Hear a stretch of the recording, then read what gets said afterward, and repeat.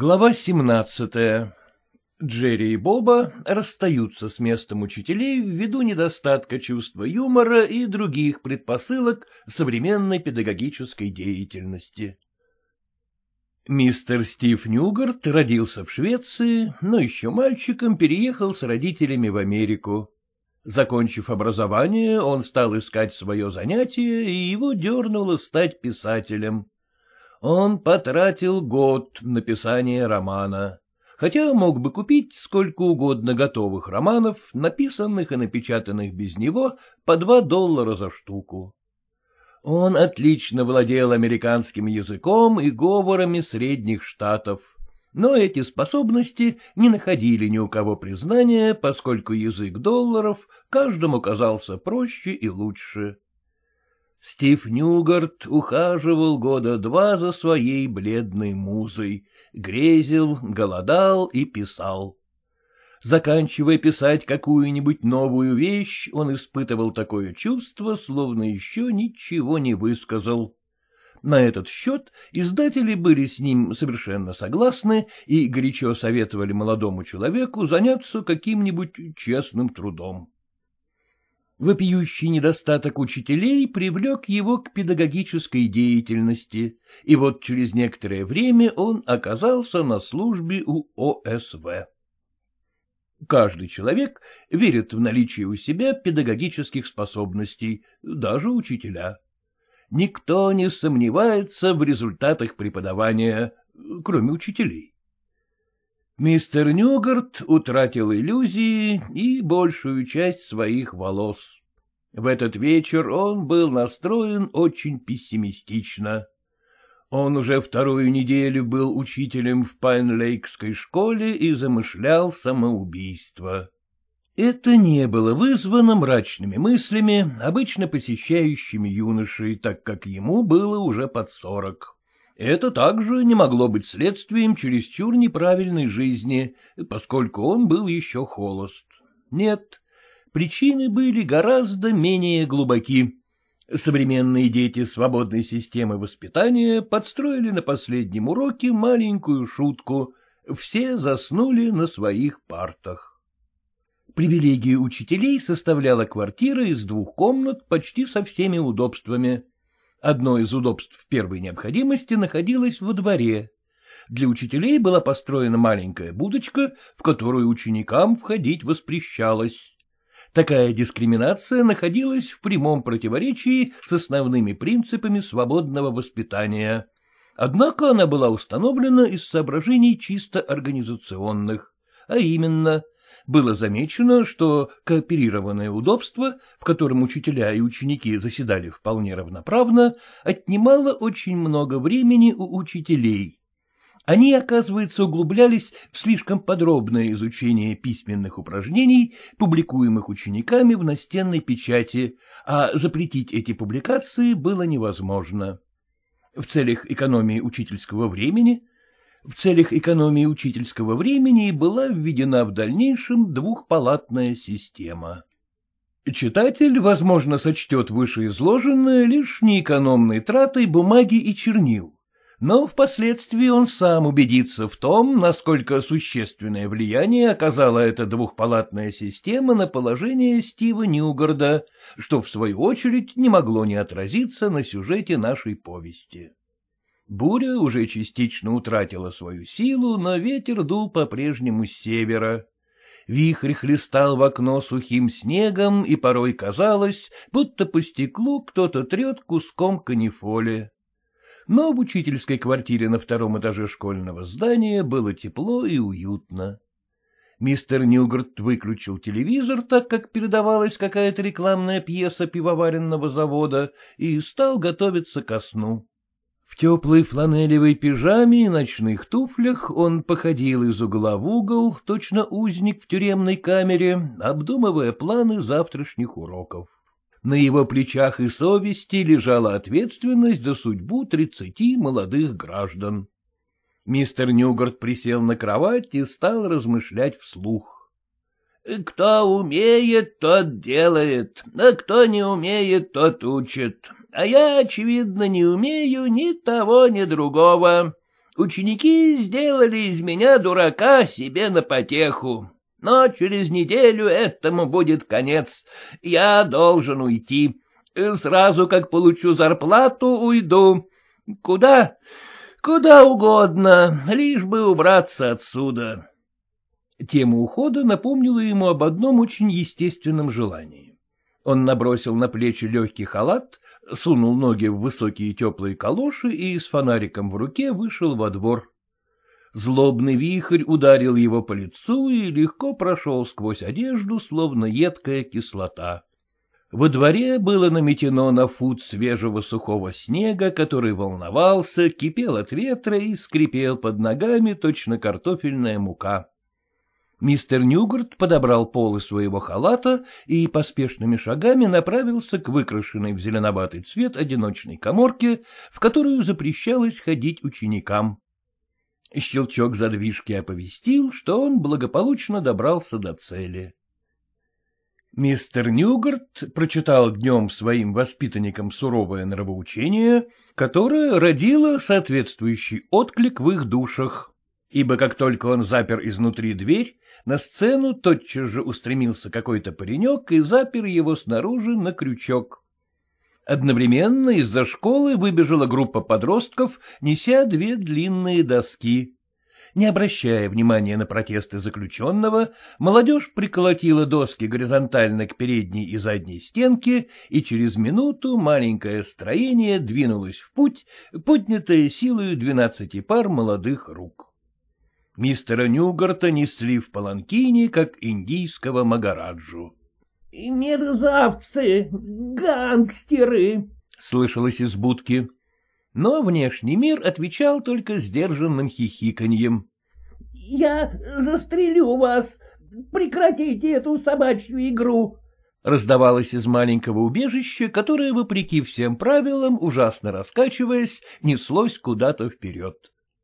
Мистер Нюгарт бросал свои слова на ветер. Сквозь изящно вырезанное отверстие в сиденье внутрь кабины летел снег. Пленник закрыл отверстие крышкой и начал колотить в дверь. Он не понимал современного юмора, от которого по всему его телу пошла гусиная кожа. Он весь дрожал от холода и от бездонной беспомощной злости. Наконец он покорился судьбе, как мужчина, который не может обвинить в своих несчастьях жену. Паланкин качался точно во власти свирепых волн, и мистер Нюгарт почувствовал приступы морской болезни. Он сидел скрючившись, просунув руки между колен. Бесполезно было просить, молить о пощаде, потому что это лишь привело бы в восторг его веселых носильщиков. Мистер Нюгарт потерял ориентировку во времени и пространстве. Морская болезнь свела судорогой его живот, он почувствовал дурноту. Вдруг паланкин с треском ударился о землю и остановился. До ушей пленника вновь донеслось забывание ветра и веселый детский смех. Через мгновение он различил удаляющиеся шаги. Каннибалы ушли, оставив своего воспитателя на большой дороге на самой середине моста. Буря со временем утихла настолько, что мистер Нюгарт расслышал где-то внизу мирное журчание реки. Он открыл окошко в сиденье и с помощью карманного фонарика попытался обследовать ограниченно видимую местность, но злобный вихрь запорошил ему глаза снегом, советуя закрыть люк. Усталый и окоченевший страдалец снова сел и предался мечтам о свободе. Вдруг послышалось урчание приближающегося автомобиля и раздался нетерпеливый гудок. Мистер Нюгарт скрестил руки и закрыл глаза. Звуки приближались и нарастали, и вдруг тишину разорвал визгливый вопль тормозов. Мистер Нюгарт закрыл лицо одеревеневшими ладонями, ожидая своего конца. — Эй, там! Убирайтесь с моста! — повелительно крикнул мистер Теккер. Из маленькой кабинки никто не отвечал. Э, разрешите вас побеспокоить, господа, —— сказал мистер Теккер, оборачиваясь к своим пассажирам. — Какой-то негодяй загородил мост. Боба и Джерри вылезли из машины и последовали за мистером Теккером на мост. Фабрикант рыболовных крючков подошел к странной заснеженной баррикаде, установленной на мосту, и в изумлении воскликнул. — Да ведь это же школьный сортир! Новый нужник из нашей школы! Он заметил приколоченные к стенкам будочки длинные доски и покачал головой. «Хм, — Должно быть, что-то произошло. — Откройте! — послышался изнутри слабый жалобный голос. «Э, — Кто там? — спросил мистер Теккер. — Я Стив Ньюгарт. — А что вы там делаете? Мистер Ньюгарт не в силах был ответить. Фабрикант Крючков принес из машины короткий ломик и разводной ключ и принялся освобождать узника, пыхтя себе под нос. — И каким чудом эти ребята притащили сюда клозет? Надо же иметь такую силу! Четверть мили тащить, и в такую погоду! Джерри и Боба молча наблюдали эту сцену. Мистер Текер, открыв, наконец, дверь, направил луч своего карманного фонаря прямо в лицо мистера Нюгарта и совсем ослепил его. Замерзшего и оцепеневшего от ужаса учителя пришлось отнести в машину на руках. Баррикаду оттащили с моста, и квартет тронулся в путь, испытывая весьма смутные чувства. Когда они прибыли в школу и поднялись на второй этаж, в комнаты, предоставленные учителям, мистер Нюгарт уже обрел дар речи. Он бросил на председателя правления школы испепеляющий взгляд и проговорил, задыхаясь. — Я требую немедленного расчета. Это заходит слишком далеко, мистер Текер. — Какие пустяки? — возразил мистер Текер. — Вы должны понимать, молодежь. Вся воспитательная программа нашей школы основана на развитии инициативы учащихся. У вас нет чувства меры, мистер Нюгарт, вы не чувствуете юмора. Мистер Нюгарт с презрением оглядел своих новых коллег и спросил у Боба.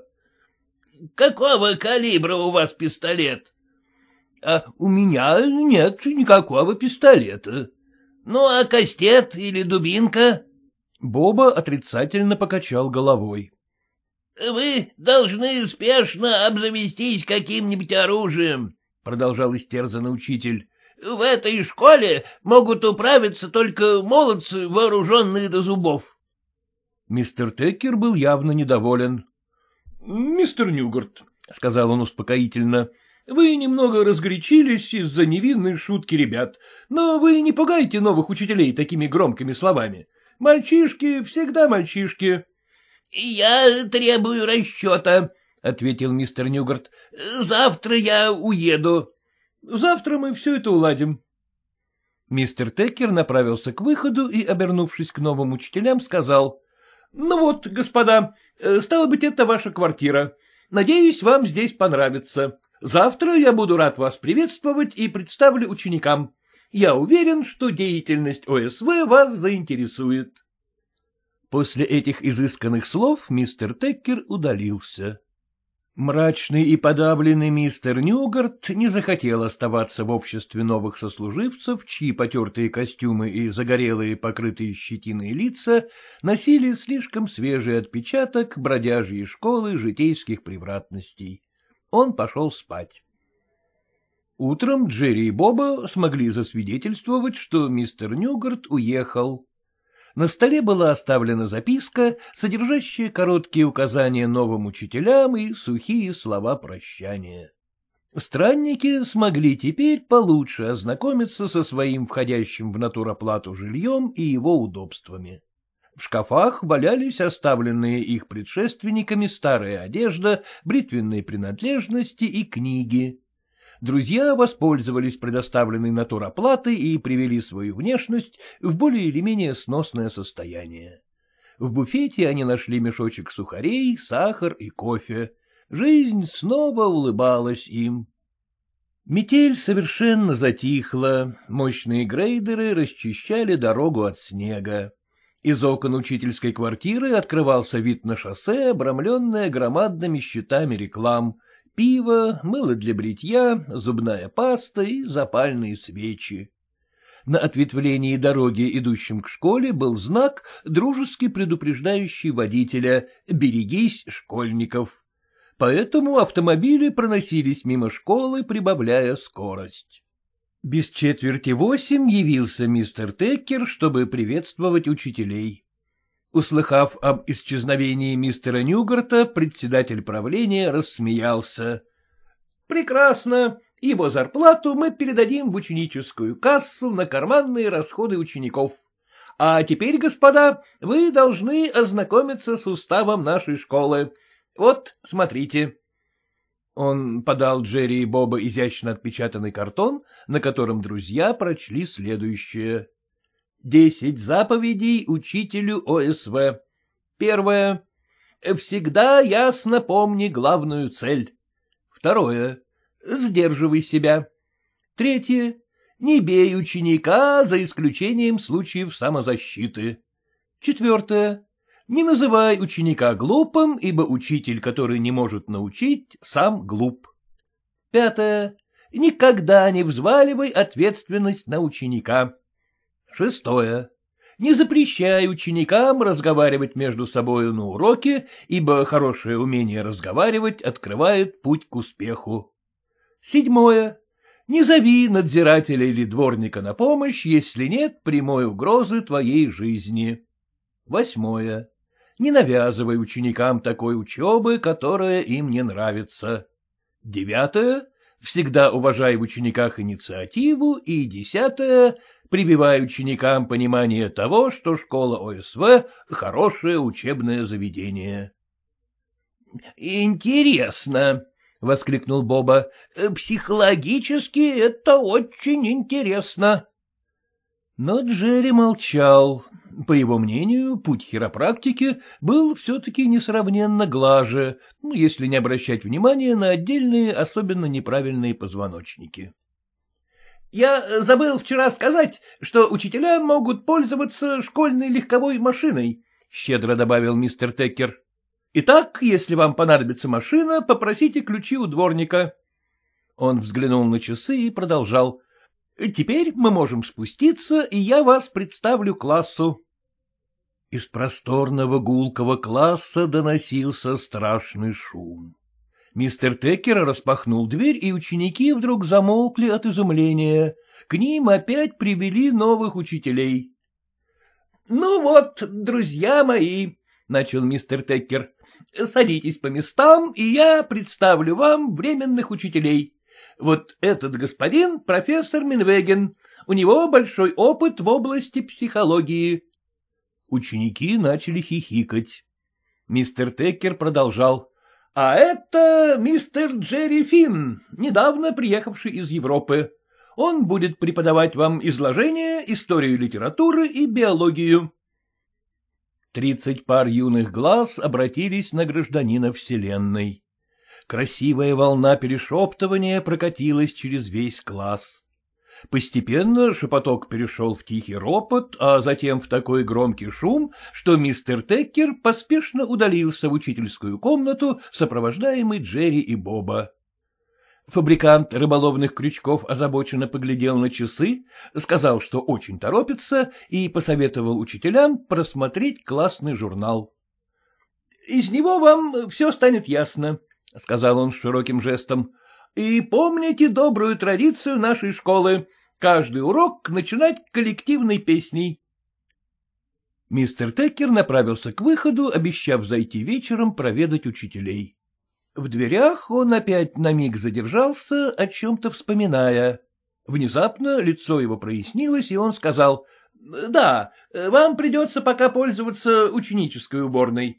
До свидания, господа. — Что нам теперь делать? — спросил Джерри беспомощно, когда мистер Теккер закрыл за собой дверь. — Начнем работать, — ответил Боба, энергично чихая. — Ты иди, начинай, а я тем временем изучу журнал. Джерри обдернул на себе пиджак и с наигранной бодростью вошел в класс, который был до краев полон табачным дымом. — На уроках курить нельзя, — сказал он строго. — Ни тайком, ни открыто. Каждый должен выполнять требования школьного устава. Нависла угрожающая тяжелая тишина. Джерри предложил ученикам спеть национальный гимн, но так как никто не знал ни слов, ни мелодии, то он согласился на собственный выбор класса. Спели хором известный боевик Рубена Уильямса «Я у входа в храм в глаза твои влюбился», а затем танго Джин Оттри «Беспечный любовник». Ученики еще долго раскачивались на партах в такт танго после того, как пение было окончено. Джерри постучал указкой по столу и попросил тишины, но дети подумали, что он отбивает такт, и снова спели беспечного любовника, правда, на этот раз помедленнее. Таким образом, урок начался под знаком медленного шаркающего танго. После этого пошло шушуканье и громкий шелест бумаги, порожденный развертыванием жевательных резинок. Тридцать пар челюстей одновременно занялись национальным американским спортом. Джерри смотрел на класс, ожидая тишины, но шум усиливался. Какой-то паренек положил ноги на парту и развалился в директорской позе. — Убери ноги с парты! — прикрикнул Джерри. Паренек как будто не слыхал. — Убери ноги! — повторил Джерри громче прежнего. — Это вы мне? — удивленно спросил мальчик. — Да, тебе. Неужели тебя не учили хоть немного хорошим манерам? — В свободной школе манеры не нужны. — Ишь ты, какой разговорчивый. Встань. Как тебя зовут? Мальчик поднялся, не спеша вышел из-за парты и стал, засунув руки в карманы. Это был высокий темноволосый подросток, верхнюю губу которого украшали первые всходы усиков. На нем была школьная форма, синие фермерские штаны и клетчатая рубашка. Джерри нашел фамилию мальчика на схеме, лежавшей на столе, но, не будучи в состоянии прочесть ее, повторил вопрос. «Э, — Как тебя зовут? — Станислав Валентин Дренскев-Додовицкевич, — ответил молодой человек. Назови по буквам. Паренек перечислил кучу гласных и согласных с такой скоростью, что Джерри невольно проникся уважением к его языку. «Э, — Хорошо, садись. Э, так ты, значит, поляк? — Нет, я настоящий американец. Я приехал в Америку, когда мне было полгода. — И все равно ты поляк. Настоящие американцы — это индейцы. Класс ответил взрывом протеста.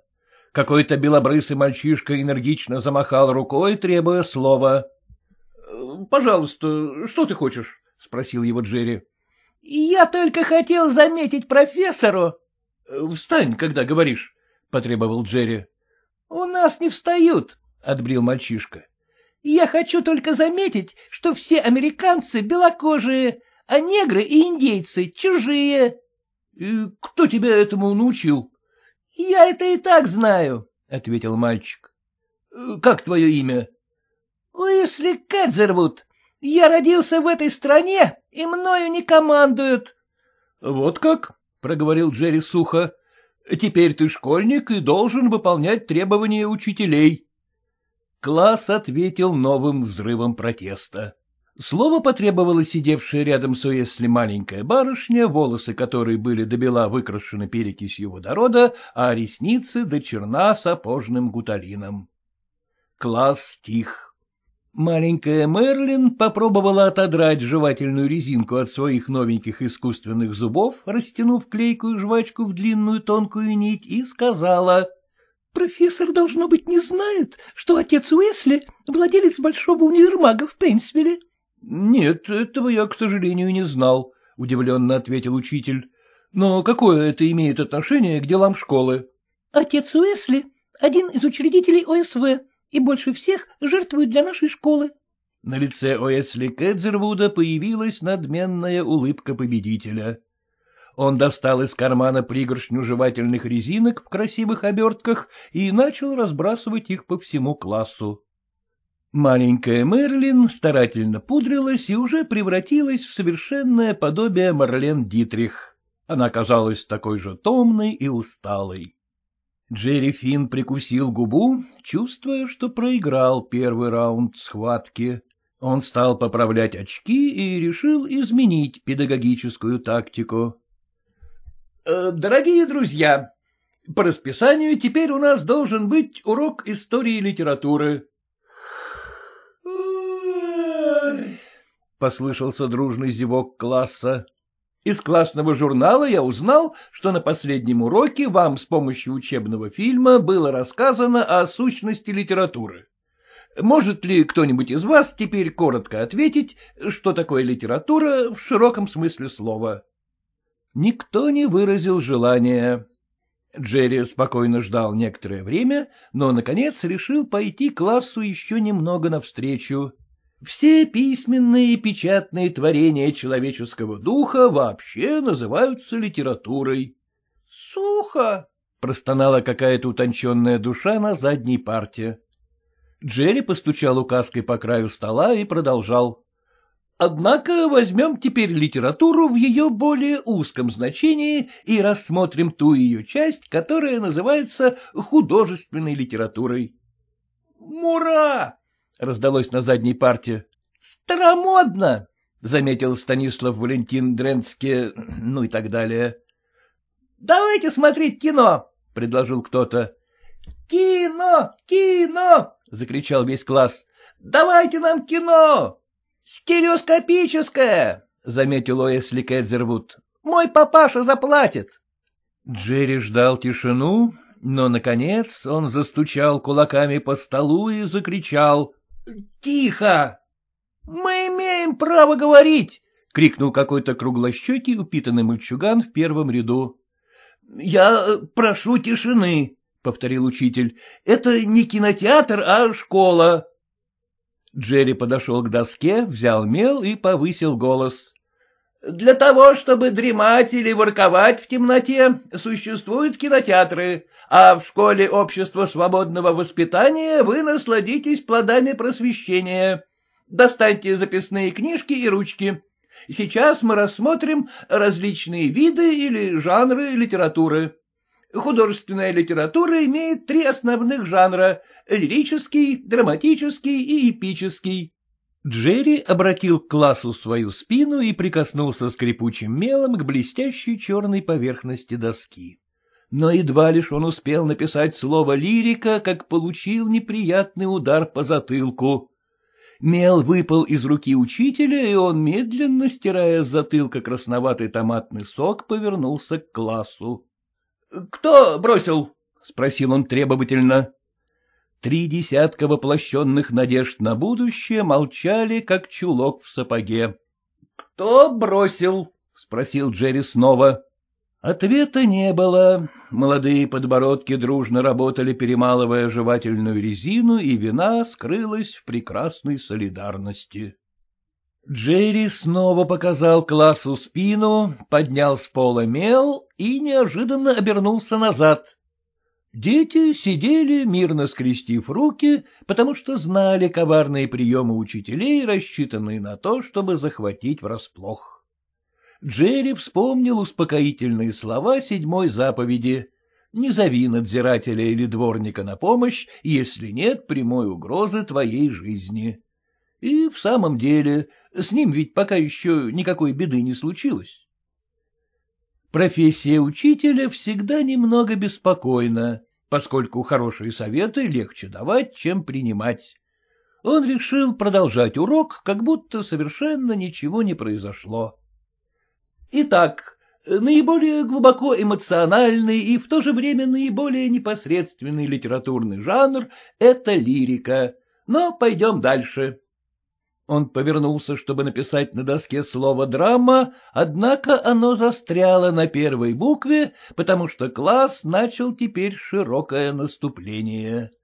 Тухлые яйца и гнилые помидоры взрывались точно гранаты. Как бывший солдат, Джерри бросился животом на пол и уполз по-пластунски за доску в укрытие. Протухшие до появления на свет цыплята растекались у него по спине и по плечам, распространяя отвратительное зловоние сероводорода. Обстрел на мгновение прекратился. Джерри воспользовался передышкой, улучив удобный момент, поднялся и выскочил из класса. Неожиданно для Боба, углубившегося в изучение классного журнала, он вбежал в учительскую. — Уже кончился урок? — спокойно спросил психолог, не отрывая глаз от огромной книги. — Да, — ответил Джерри, с трудом переводя дыхание. — И вместе с ним окончилась моя учительская карьера в школе свободного воспитания. Я слишком старомоден. Я не гожусь в учителя современной молодежи. Боба закрыл журнал и встал, чтобы подивиться виду своего друга. — Тебе не хватает психологической смекалки. Ты, очевидно, не знаешь, что психический процесс нельзя пытаться задержать или приостановить. Э, -э чем это здесь и пахнет? Боба потянул воздух своим простуженным носом и только теперь заметил пятна на костюме Джерри. «Э, — Что случилось, Джерри? Что ты наделал? — Я учил, — коротко ответил Джерри. — Учил? — Вот именно. Преподавал начало литературы, а в награду был удостоен гнилых томатов и куриных зародышей. Бобо, я думаю уходить. Э, — Нет, Джерри, я обещал мистеру Текеру, что мы будем исполнять обязанности учителей в течение недели. Ты должен приучить себя к новым манерам, или, вернее, забыть все старые привычки. Я уверен, что злость твоя пройдет, как только ты начнешь исследовать ее интроспективно. Э, например, экспериментальная психология... — Перестань, — оборвал его Джерри. Ты сумасшедший. Ты это говорил и раньше. И ты до сих пор мне не веришь? Мистер Ньюгард был прав. С учениками этой школы надо разговаривать с пистолетом в руках и противогазом на лице. По классному журналу видно, что здесь еще ни один учитель не продержался больше недели. Я хорошо понимаю, почему они уходили. И я уйду тоже. Боба вздохнул. Все это от того, что учителя не способны решать психологические проблемы. Они не понимают, что обучение надо начинать с тренировки человеческих взаимоотношений. Когда я был профессором психологии в Бостоне, ты не слушаешь? Нет, я иду наверх чистить костюм, а потом к дворнику за ключом от машины. Действительно, мы ведь можем воспользоваться нашей служебной машиной и в перерыв съездить в Пейнсвиль, — воодушевился Боба. Джерри удалился, не говоря ни слова. Боба пожал плечами и запустил пятерню в свою косматую гриву. Он весь горел учительским вдохновением. Он намеревался посвятить урок теме психология и этика, и у него были сделаны уже кое-какие заметки. Очаровательно улыбаясь, он вошел в класс, наполненный запахами тухлых яиц, гнилых помидоров и прогорклого табачного дыма. Ученики ответили на его улыбку сдержанными смешками, и Боба ощутил первое конкретное соприкосновение со своими воспитанниками. — У вас принято курить на уроках? — спросил он с той же сияющей улыбкой. — Принято, — ответил маленький чахлого вида мальчик, имя которого, согласно схеме класса, имевшейся на учительском столе, было Дэвид Бентон. «Э, — Хорошо, — сказал Боба. «Э, — Может быть, вы и меня угостите сигаретой? По классу прошлась волна сдержанного шепота. Соседка Уэсли Кэдзервуда достала из сумочки и бросила Боба сигарету. «Э, — Благодарю вас, барышня, — воскликнул Боба, закурил и сел к столу. Сделав затяжку, Боба заметил на последней парте паренька и девочку, которые целовались. — А целоваться на уроках у вас тоже принято? — спросил учитель. Никто не отвечал. — Если рассмотреть психологически, продолжал Боба. Целоваться гораздо удобнее на переменах или по пути домой. Но если кто-нибудь из вас испытывает непреодолимое желание целоваться на уроках, то прошу заявить об этом мне. В классе стало тихо, как в церковной ризнице. Таким образом, Боба выиграл первый раунд. — А теперь споем, — энергично предложил он детям и встал. Предоставив инициативу выбора ученикам, Боба услыхал три новейшие самые модные песенки «Хилли-ли, хило», «Только ты, мой милый» и «Целуй меня сильнее, Джон». Обстановка была свободная и непринужденная, настолько свободная, что паренек на задней парте, имя которого, согласно схеме, было Джон Блэкшиф, начал в засос целовать темноволосую девочку. Чтобы приступить к теме урока, Боба начал с обстоятельств переживаемого момента. «Дорогие друзья, ни один человек не может недооценивать значение поцелуя. Вначале это пустяк, невинная привычка, но потом это уводит очень далеко. В современных романах поцелуй — это зачастую гвоздь всей книги, вокруг которого вертится большое количество побочных и второстепенных событий. Если рассматривать механически, поцелуй — это как бы печатное произведение, которое, однако, исполняется устно. Также можно сказать, что поцелуй есть соединение или контакт двух сосущих органов. Дома вы наверняка замечали, что ваши маленькие братишки и сестренки получают поцелуи свободно. Но молодым людям зачастую приходится их воровать, а старикам покупать. Первый поцелуй бывает в жизни только один раз, и он остается в памяти даже после того, как последний поцелуй уже забыт. Поцелуй рождает у молоденькой девушки веру, у замужней женщины надежду, а у старой девы или у пожилой одинокой женщины христианскую любовь. С последних парт поднялась волна шепота и покатилась через весь класс, разрастаясь в тихий ропот. Кто-то произнес довольно громко. — В этом же нет ничего нового. Старая болтовня. Боба заглянул в свои записи. Тема «Психология и этика» требовала все-таки более обстоятельной разработки. Поэтому он снова принялся мотыжить почву следующими словами. Профессор бактериологии Бриан из колледжа Балтимор-Сити исследовал опасность заражения болезнями через поцелуй и установил, что с каждым поцелуем из уст в уста передается в среднем 143 бактерии. Из них от 15 до 72 болезнетворные – передача бактерий находится в прямой пропорциональной зависимости от продолжительности и страстности поцелуя. Итак, чем дольше и горячее ваш поцелуй, тем вернее вы получите сами или передадите в подарок другому бактерии. Это неправда, — перебил Станислав Валентин с длинной и сложной фамилией, которую слишком трудно произносить, писать и набирать. Это правда, подчеркнул Боба. Профессор Бриан научно утверждает, что бактерии лучше всего чувствуют себя в пухленьких нежных губах юных школьников, но зато избегают холодных и сухих губ стариков. Когда целуются курильщики, опасность заражения оказывается втрое меньше нормальной. Э, всем этим я хочу только сказать, что поцелуй вообще является бактериологически сомнительным актом.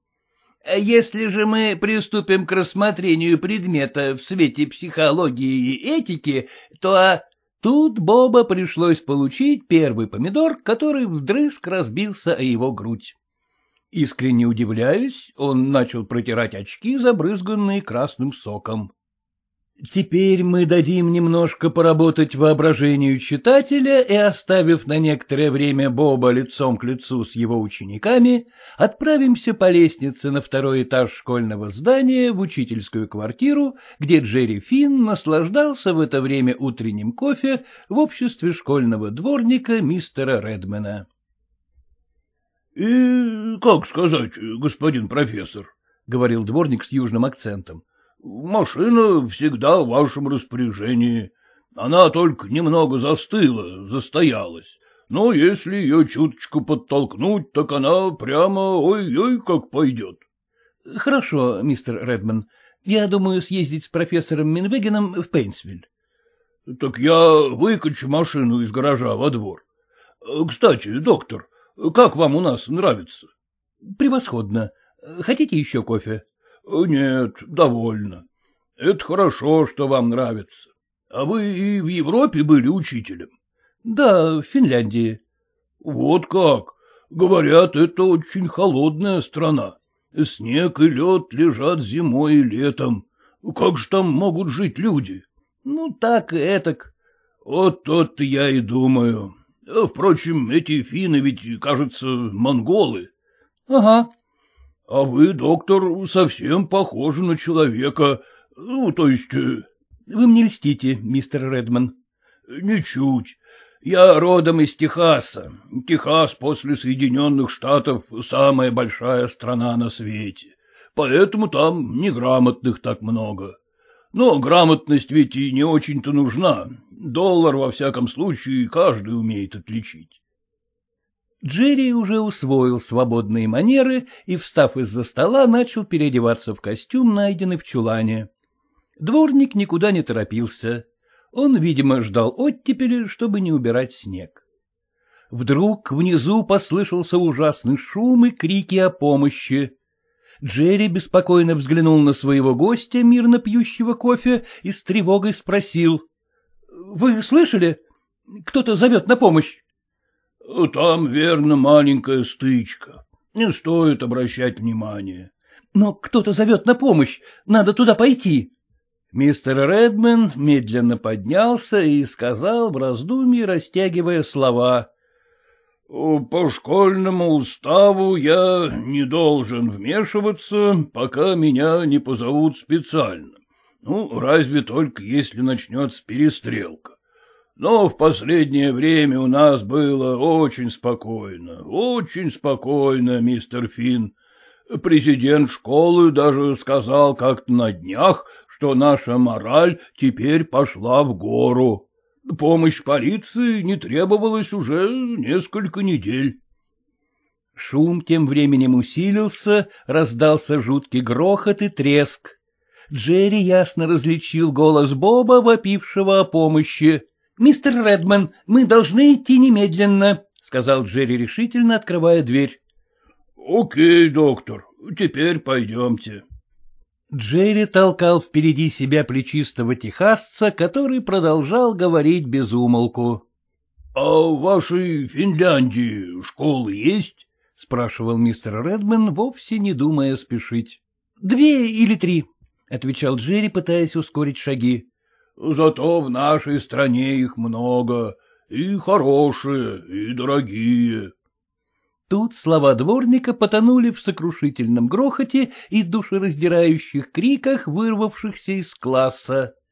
Расстегнув свою рабочую блузу, техасец достал два висевших на поясе длинноствольных пистолета и распахнул дверь. Затем он с деловитостью танка вошел в класс и спокойно сказал по местам. Он оглядел просторное помещение и потянул носом воздух. — Опять здесь курили марихуану. Кто позволил? — Профессор Минвегин разрешил, — ответила беловолосая девочка, которая в начале урока угостила Боба сигаретой, содержащей гашиш. В классе царил полнейший разгром. Почти все парты были разбиты в дребезги, карты и таблицы изрезаны ножами и изодраны в клочья, а стены и потолок залиты чернилами. Под перевернутой доской лежал Боба, связанный по рукам и ногам и весь измазанный томатным соком. — Развяжите старика, — сказал дворник, спокойно поглядывая на класс. Какой-то веснущатый мальчик разрезал веревки, которыми был опутан Боба, и помог профессору выбраться из-под тяжелой доски. Психолог, шатаясь, поднялся, бросился в объятия Джерри и громко зарыдал. Я совершил психологическую ошибку, не принял во внимание их полового влечения. Я был уверен, что детерминирующая тенденция уже создала необходим... — Отведите его проветриться, — обратился к Джерри дворник. — Я думаю, он тоже накурился этой гадости. Джерри увел друга наверх, а мистер Редман остался выяснить обстановку. Стиснув пистолеты в своих огромных ладонях, похожих на хлебные лопаты, он постоял некоторое время молча, испытывающе глядя на всех прищуренными глазами, и, наконец, сухо спросил. — Кто заплатит за это? Ученики стояли маленькими группами среди нагроможденных обломков парт и молчали. Но вот Оэсли Кэдзервуд, сын богатого коммерсанта и одного из учредителей ОСВ, выступил на два шага вперед и надменно сказал, доставая из нагрудного кармана чековую книжку. — Сколько, мистер Редман? Дворник неторопливо оглядел классную комнату и, подумав, сказал. — Этот раз похуже, чем неделю назад. А тогда ремонт и уборка стали две тысячи долларов. Юный Уэсли Кэдзервуд поиграл золотой паркеровской ручкой и повторил вопрос. — Короче, сколько, мистер Редман? — Пиши три тысячи. Или давай пиши уж три с половиной. Юный Уэсли Кэдзервуд, отец которого владел большим универсальным магазином и несколькими нефтяными скважинами в Техасе, подал дворнику чек и сказал. — Я тут написал четыре тысячи, и вы заткнете свою глотку. — У меня крепко, — пообещал мистер Редман и продолжал, медленно растягивая слова. — А теперь ступайте все по домам и скажите, что школа закрылась на несколько дней. Взорвался паровой котел центрального отопления. Ясно, ребята? Стив Ньюгарт при поспешном отъезде забыл в гардеробном чуланчике чемодан, содержимое которого помогло нашим бродягам экипироваться. Они воспользовались одеждой товарища по несчастью, а свои насильные вещи запихнули в чемодан на место взятых. Профессор Менвеген, докторская диссертация которого была посвящена психологии смеха, погрузился в глубокую меланхолию и даже перестал улыбаться. Он чувствовал невыносимую боль в висках потому что не привык курить сигареты, начиненные одуряющей марихуаной. Его угнетенное состояние усугублялось, кроме всего прочего, грызущим самообвинением. — Я совершил психологическую ошибку. — Ну, придумай, наконец, какое-нибудь новое объяснение, — заметил Джерри, которому все надоело и который с нетерпением следил за одеванием друга. Признайся прямо, что психология животных тебе недостаточно хорошо известна. — Да нет, известно. Я ведь полтора года работал ассистентом в психологической лаборатории Бостонского университета, и тогда мне пришлось изучать приспособление животных к различным условиям жизни. Теперь, обдумывая последние события, я вижу, что возможности экспериментального метода были чрезвычайно ограничены. Во всяком случае, квантитативно проанализировать их было невозможно, и лишь в очень ограниченной степени экспериментально... — Торопись, — прервал его Джерри. — Я стараюсь как могу. Меня мучит жажда. — Воду из крана пить нельзя. Она буроватая, как пиво, и пахнет мочой. Ученички загрязнили колодец. Дворник говорит, что посылал воду в Кливленд на анализ, и оттуда пришел короткий ответ. Ваша лошадь больна диабетом. Боба вздохнул. — Несчастная школа. А откуда ты брал воду для кофе? — Натаял снега. Ты уже готов? — Сию минуту. Боба оглядел комнату с расстроенным видом. — Это очень безнравственно уходить таким образом, — сказал он подавленно. — Ведь мистер Текер так доверял нам. Боба для верности заглянул в продуктовый шкаф и схватился за мешок с сухарями. Э, — Ты думаешь, что мы можем взять это себе на дорогу? — Бери. — Значит, по-твоему, это не воровство? — Нет, просто плата за труд. Джерри высыпал остатки рафинада из сахарницы в тот же мешок с сухарями и сказал, — А это надбавка к зарплате. Психолог вздохнул и глубокомысленно произнес, Теперь люди ежедневно требуют надбавок и повышения всех видов платы, кроме платы за грехи. — Ну, идем? Э, — Сейчас. Боба продолжал осматривать комнату, словно искал что-то. Вдруг он заметил на окне коробочку талька и схватил ее. — Подожди еще минуточку, я разуюсь и пересыплю тальком пальцы на ногах. — Зачем? Удобнее идти. До Пейнсвилля почти восемь миль. Джерри сделал шаг к дверям и сказал торжественно. — На этот раз мы не пойдем, а поедем на машине. Моральное опьянение всегда вызывало у Боба моральное похмелье.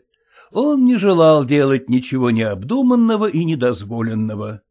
— Нет, Джерри, не пойдет. Это было бы воровством. — Почему? Мы же имеем право пользоваться школьной машиной. — Но не для бегства. Джерри остановился в раздумье. Уважаемый читатель может подтвердить, что за время течения нашей повести Джерри Финн не совершил еще ни одного преступления, о котором стоило бы упоминать. Но теперь, именно теперь он готов был пойти на это. Его оскорбили, одурачили, осрамили, и в тесной мышиной норе его самолюбия гнездилась мысль хотя бы о небольшом удовлетворении. Он героически поставлял ученикам общекультурные ценности и считал себя вправе минимально участвовать в дивидендах фирмы. Прокат школьного автомобиля казался ему вполне подходящим вознаграждением. Он посмотрел прямо в лицо своему компаньону и спокойно сказал. — Друг мой, если мы проедем на машине до Пейнсвилля, то это все-таки еще не составит нашей дневной зарплаты. Иными словами, мы все еще будем страдать от снижения ставки. — Зарплата вообще повсюду снижается. Не снижается лишь плата за грехи, — возразил психолог. Эту гениальную мысль ты уже только что высказывал. Э, — Кажется, я говорил нечто подобное, но только наоборот. Можно доказать научно, что существует примерно пять тысяч способов выражения одной и той же мысли. — Ты гений, Боба.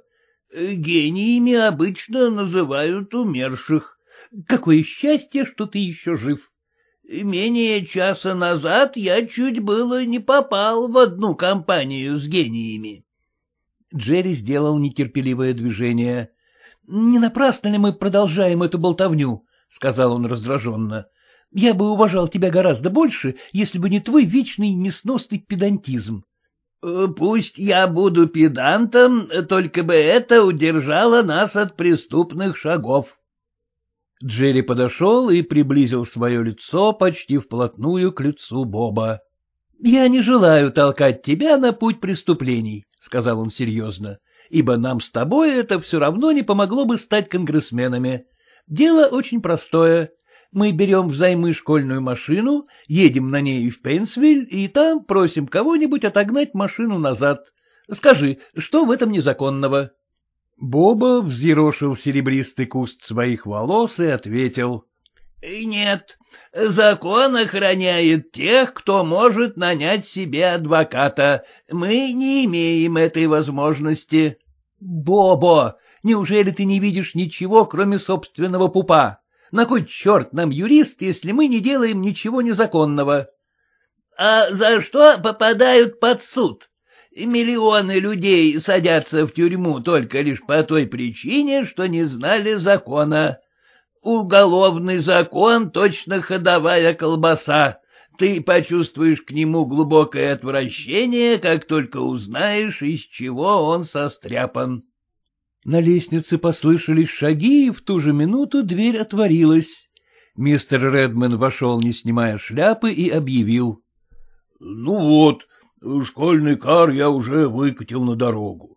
Попросите какую-нибудь машину толкнуть вас чуток, и тогда он заведется. А потом... Мистер Редман выдержал небольшую паузу и продолжал. — Нам нужно устроить дня на два каникулы. Надеюсь, господа, вы меня понимаете, но об этом не следует много распространяться. Так что можете задержаться в городе, если есть охота. Боба кашлянул, показывая, что что-то собирается сказать, но Джерри опередил его. — Отлично, мистер Редман, мы как раз уже собрались ехать. Дворник дал Джерри ключ от машины и обратился к Боба. — Вам тоже неплохо отдохнуть денька два, профессор. — Конечно, — ответил Боба, — очень хорошо. — Окей, господа, гуляйте. Желаю приятно провести время. Дворник ушел, оставив после себя сильный запах пива. Бобо сказал покорно.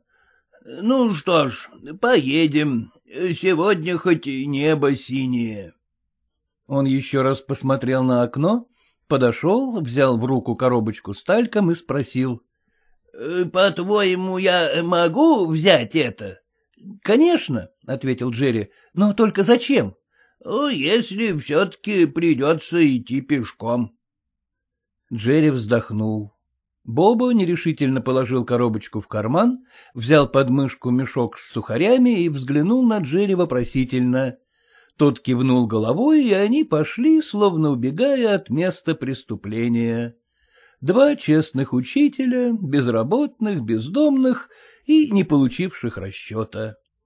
Они не принадлежали к той обширной избранной прослойке учителей, задача которых — убаюкивать учеников.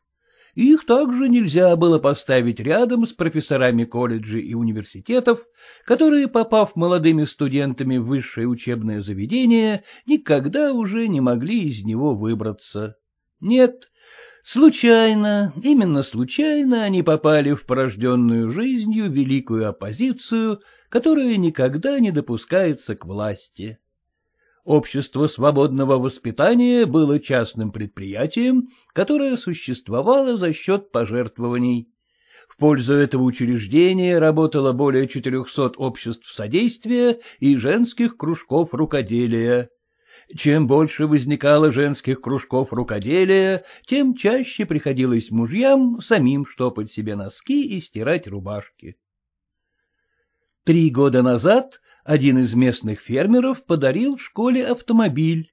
Это был хорошо известный «Форд» выпуска 1915 года.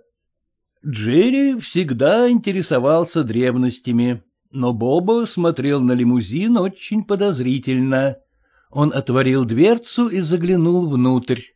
Переднее сиденье было заплатано и подбито старыми мешками и газетами. На заднем загроможденном сиденье лежала ржавая лопата, железный лом и большой ворох проволоки на случай необходимого ремонта в пути. Боба покачал головой. — Да, вид не блестящий. Кто сядет за руль? — У меня нет водительских прав, — ответил Джерри.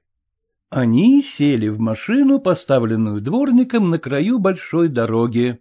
Надо было только завести мотор.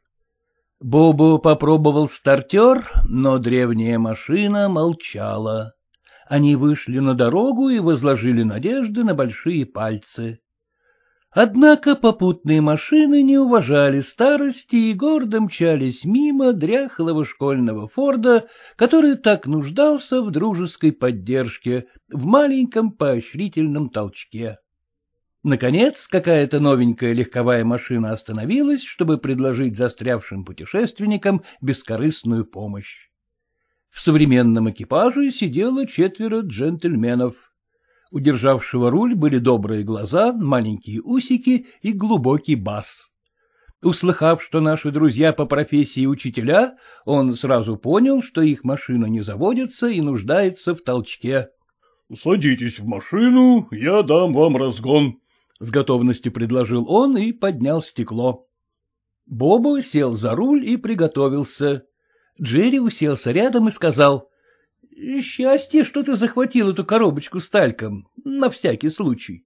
— Волос всегда ценнее на голове, чем на гребешке, — ответил Боба. Почтенный ветеран автомобилестроения с треском и дребезжанием двинулся с места. Боба нажимал газ сцепления и теребил поникший рычаг коробки скоростей. — Сцепление неисправно, — заметил он сознанием дела. — Главное, что мы двигаемся вперед, — ответил Джерри. — Коробка передач тоже не в порядке. Не принимай близко к сердцу. Может быть, маленькие ангелы ОСВ поломали школьную машину? В нынешнее время ангелов найти можно только на небе. Слова Боба потонули в лязге, визге и грохоте. Скорость нарастала, как милосердие во время церковной распродажи. Старик Форд, бедняга, трещал по всем швам. Никогда еще на своем веку он не переживал такой безумной, бешеной гонки. Никогда, даже в золотую пору молодости, когда он возил бидоны на молочный завод и хозяйских детей в воскресную школу. «Э, — Работает мотор? — спросил Боба. — Не слышу, что ты говоришь. «Э, — Послушай, э, шумит ли наш мотор? — Не разберу, не гони так быстро. Я ничего не могу поделать. Э, не я гоню, меня гонят. Проехали две мили. Вдруг скорость убавилась. Это остановилась дружественная машина-помощница. — Ну что, не завелся мотор? — спросил Добряк с усиками. «Э, — Нет, — ответил Боба, — он очень застыл. Не можете ли вы толкнуть нас еще немножечко? Водитель презрительно усмехнулся и ничего не сказал. Все-таки он чувствовал инстинктивное уважение к этим людям, которые отдали свою жизнь делу воспитания детей и были вынуждены, убивая себя, тратить силы в разъездах, занимаясь разными побочными делами, чтобы жить немного более сносно. Человеческое чувство жалости побудило Добряка сделать еще одну попытку. Старый учительский конь, издавая вымученное ржание, пустился снова в галоп. Однако честные педагоги не насладились упоительной скоростью, так как неудобное сиденье постепенно начало отделяться и съезжать со своего места, а сильный грохот подвергал сильному испытанию барабанные перепонки. Приближался Пейнсвиль. Движение оживилось, громадные щиты реклам заговорили о цивилизации. Еще миля другая, и они въехали в город. Скорость убавилась, и брошенная на заднем сиденье груда ржавой проволоки прекратила свой скрипучий пляс. Бескорыстный добряк почувствовал, что требуемая норма любезности им выполнена. Поравнявшись с учительской машиной, он опустил боковое стекло и крикнул — А есть ли у вас в баке бензин? Боба теперь был похож на комика, которому вовсе не до смеха. — Я полагаю, сэр, все должно быть в порядке. — Сворачивайте к обочине и остановите машину. Боба нажал на тормоз, но помолодевший старик бежал вперед и не думал останавливаться. — Тормоз не действует, — шепнул Боба на ухо другу конце концов инерция иссякла, и честные педагоги школы свободной системы воспитания выбрались из машины, наслаждаясь возможностью встать на выпрямленных ногах и растирая измученные бедра. Добрый толкач остановился против Форда, блестя полированными боками. Четверо незнакомцев вышли поглядеть на историческое средство передвижения — оно было словно штопор, один вид которого рождает в известной обстановке веселое настроение. — У вас мотор должно быть неисправен, — сказал мужчина, у которого мы раньше заметили добродушный взгляд и маленькие усики. Усики его и теперь оставались такими же, но взгляд уже не был добродушным, а сделался цепким и подозрительным. — Куда вы едете, господа? — спросил он басом. — На запад, — ответил Боба. — Наверное, у вас нет бензина? — Посмотрим. Боба стал открывать прикрученный железной проволокой капот, желая быть теперь чем угодно, только не самим собой. Руки его дрожали, и он то и дело поправлял очки на носу. В конце концов ему удалось приподнять капот, и тут сразу обнаружился дефект. Автомобиль был без мотора. Тогда человек с усиками схватил Боба за лацкан и сказал. — А, так ты меня вздумал за нос водить? Ну, говори, что хочешь, а я поговорю с тобой вот так. Он отпустил пиджак психолога и направил свои кулаки к его дрогнувшему подбородку. Боба пошатнулся и хотел было опереться на школьную машину, но басовитый автомобилист подхватил его левой рукой, не давая упасть, а затем правый нанес новый удар. Джерри бросился на помощь другу, но без молотка он был бессилен. Пытаясь защитить одухотворенное лицо психолога, он получил резкий удар в челюсть и одновременно толчок в диафрагму. Упал и на какое-то время лишился сознания. Солнце растапливало снег и ласкало своими лучами старый истерзанный автомобиль, лишенный двигателя. Рано утром того дня школьники сняли с него мотор и бросили в колодец. Его стоимость входила в сумму тех четырех тысяч долларов, на которые юный Уэсли Кэдзервуд выписал чек школьному дворнику.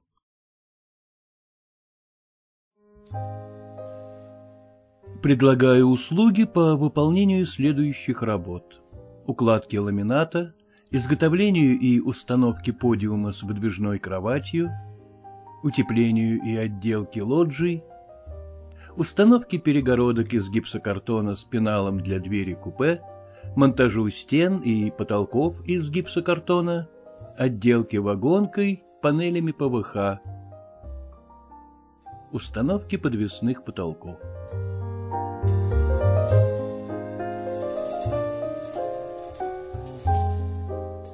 Обращаться по телефону 8 903 689 3623.